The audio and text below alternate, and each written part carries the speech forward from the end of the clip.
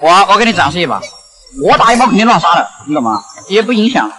花木兰强就强在于他绝对先手，你你先手打他，他反打你，他转为他先手，懂吗？你不先手，他先手沉默你，他反打能力比任何边路都强。我跟你说，元哥都没有花木兰反打强。你再看，待会李白来抓我，你看我是怎么打的？我跟你说，他强就强在于他不怕打野。这木兰最牛逼的就是他不怕打野，任何打野都针对不了他，奈何不了花木兰。啊，我四级了，看到没？